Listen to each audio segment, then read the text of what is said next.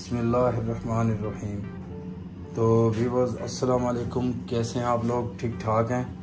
उम्मीद करता हूँ सब ठीक ठाक होंगे और मैं भी खैरियत से हूँ। तो आज की रेसिपी जो है ना, वो बहुत ही मज़ेदार होने वाली है। तो आज मैं आपके लिए लाया हूँ जनाब जनाब आलू और गोश्त, मुर्गी का चिकन और आलू बना रहे हैं। तो इसमें आपको बताता हूँ कि मैंने कौन कौन सी चीज़ें कितनी कितनी क्वांटिटी में यूज़ की है। तो वो मैं आपको दिखा देता हूँ। तो आप पहले ये पूरा ये रेसिपी की जो जो क्वांटिटी है वो समझ लें। तो सबसे पहले मैं आपको बताना चाहूँगा तो हमने इसके लिए जो है ना पटाटो लिए हैं। पटाटो हमने तकरीबन जो है ना 600 ग्राम लिए हैं, ठीक है? 600 ग्राम पटाटो हैं 600 ग्राम ही मुर्गी का गोश्त है, ठीक है?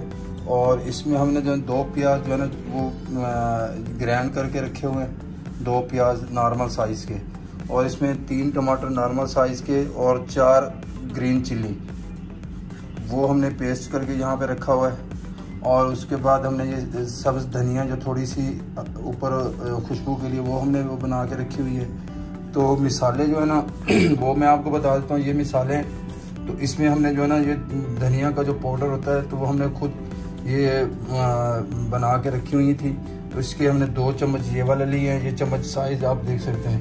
तो इसमें एक चम्मच हमने जो है ना गर्म मसाले का लिया है और इसमें आधा चम्मच जो है ना वो नमक का लिया है, हंसबे जायका जैसे नॉर्मली डाला है तो बाद में फिर चेक करना पड़ता है। तो इसमें खुशबू के लिए मैंने ये, इसमें जो है ना पिसा हुआ जो है ना ये गर्म मसाला थोड़ा सा डाला है। तो इसमें आधा चम्मच जो है ना ये चम्मच, ये वाला चम्मच, आधा चम्मच हल्दी का डाला है और आधा ही चम्मच जो है ना हमने रेड चिली का डाला है। तो इसके बाद हम आ जाते हैं, ये लहसुन अदरक का पेस्ट है। ये तकरीबन एक बड़ा चम्मच है। ठीक है, और एक कप हमने ऑयल का लिया हुआ है कुकिंग ऑयल ठीक है? तो इसके बाद आ जाती है ये ग्रीन चिली है, ये लास्ट में डालने के लिए। तो ये खूबसूरत लगती हैं इसमें लगी हुई। तो अच्छी भी लगती हैं और खाते भी हैं लोग। एक कप में हमने दो चम्मच जो है ना, वो दही के लिए हैं, इसमें डालने के लिए। और ये लेमन भी हमने इस तरह से जो कर कट करके रखे हुए हैं। तो ये भी हमने ऐड करने हैं उसके साथ। ठीक है ना? तो ये हमने लास्ट में ऐड करने हैं। तो ये है हमारी पूरी रेसिपी के सेटअप तो आज हम इंशाल्लाह बिस्मिल्लाह पढ़ के शुरू करते हैं, आपको दिखाते हैं ये नई रेसिपी कैसे बनाते हैं। तो जी नाजरीन, सबसे पहले हम इसमें ऐड करने जा रहे हैं ऑयल जो हमने लिया हुआ था एक कप तो ये हमने ऑयल इसमें ऐड कर दिया ठीक है? और इसको गर्म होने देते हैं थोड़ा सा। तो गर्म होने के बाद फिर इसमें हम प्याज ऐड करते हैं। तो नाजरीन ऑयल हमारा गर्म हो चुका है। तो इसमें हम ऐड करने जा रहे हैं जी प्याज। बिस्मिल्लाहिर्रहमानिर्रहीम। तो प्याज हमने इसमें ऐड कर दिए, ठीक है? तो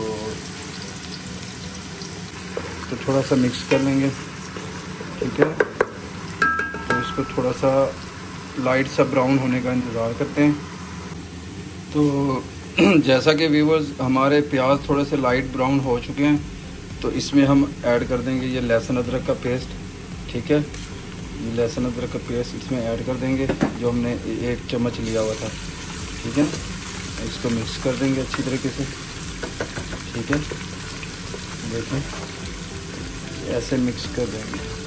तो इसको हम दो से तीन मिनट तक फ्राई करेंगे, थोड़ा सा लहसुन अदरक का पेस्ट और उसके बाद हम इसमें ऐड करने जा रहे हैं टमाटर और चिल्ली का पेस्ट जो हमने बना के रखा हुआ था। ठीक है? तो व्यूअर्स जैसा कि आपने देखा कि हमारे जो है ना वो लाइट से ब्राउन हो गए हैं, लहसुन अदरक का पेस्ट भी इसमें दो मिनट में हो गया तो इसमें हम ऐड करने जा रहे हैं ये टमाटर और रेड ग्रीन चिल्ली का पेस्ट टमाटर और ग्रीन चिल्ली का पेस्ट ये हम इसमें ऐड करते हैं।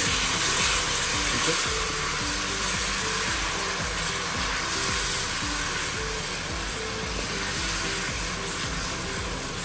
इसमें जो टमाटर ऐड किए थे, थे वो थोड़े से मेलट हो गए हैं नरम हो चुके हैं।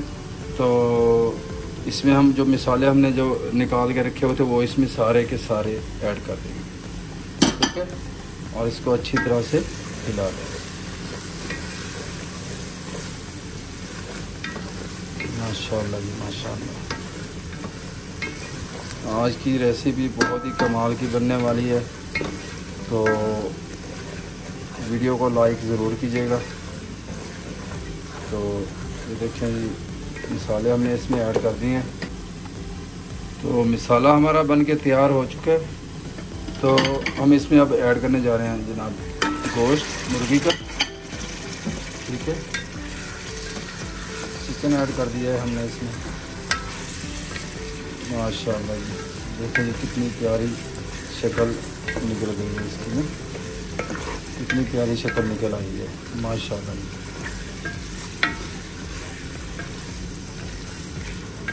इसको हम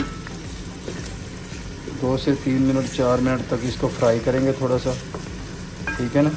तो गोश्त को फ्राई करना ज़रूरी होता है। जो आलू जो है ना, इसके में ऐड करने से पहले हमने इसको फ्राई कर लेना है, ठीक है? पाँच मिनट तक अब इसको फ्राई करें कम से कम, ठीक है? तो पाँच मिनट इसको फ्राई करते हैं, फिर उसके बाद आपको बताते हैं कि इसमें और क्या क्या ऐड करना है। चिकन हमारा फ्राई हो गया है, देखें। तो इसके बाद हम इसमें ऐड करने जा रहे हैं जी दही, ठीक है? अब इसको हमने तीन मिनट तक इसको फ्राई किया है, उसके बाद हम इसमें दही ऐड कर देंगे। तो हमने दो चम्मच बड़े वाले दही के निकाल ठीक है? इसको मिक्स कर देंगे दही को। ठीक है? तो अब आलू हमने इसमें आप ऐड कर देने हैं। ठीक है?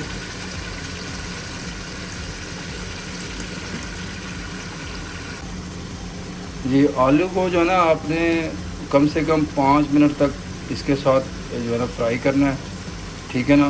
उसके बाद फिर इसमें जो है ना हम दूसरी चीज़ें ऐड करेंगे। ठीक है ना?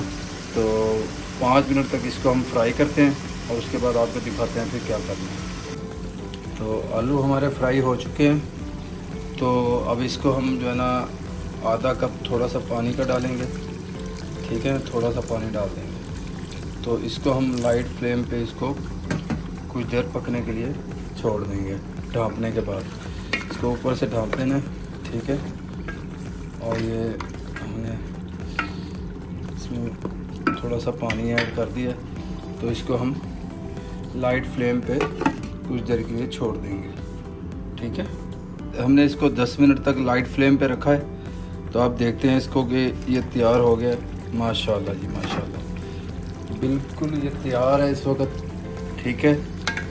माशाल्लाह जी, माशाल्लाह। बिल्कुल ये रेडी हो चुका है।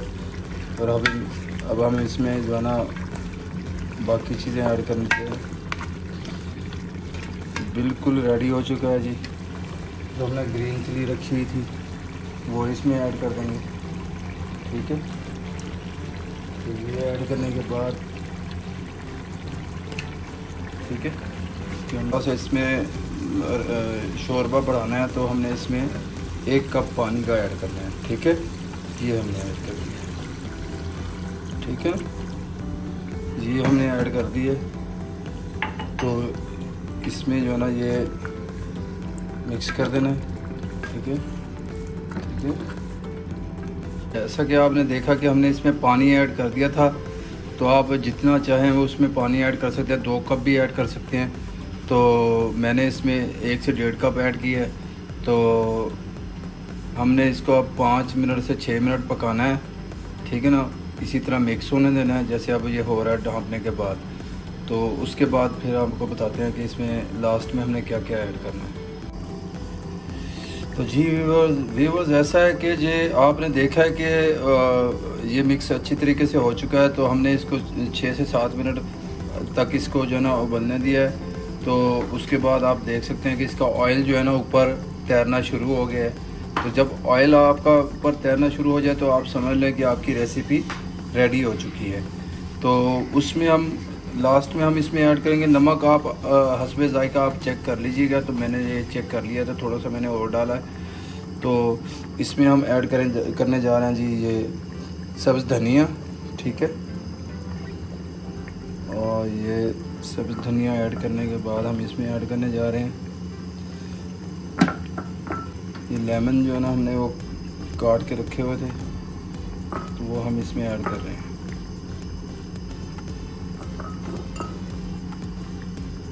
ठीक है।